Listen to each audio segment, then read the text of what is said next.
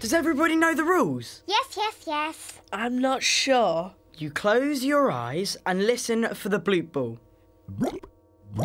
If you hear your number, you have to head the ball without looking. Well, it's hard for me, 'cause I haven't got a very big head. That's 'cause you haven't got a very big brain. We'll show you how to do it. One, two, three, four, five, six. See? Six bloops. You mean listen, six bloops. Right, your turn to listen. Could be three bloops or four. You've got to listen and count. Okay, okay, okay. One, One, two, three. Wait.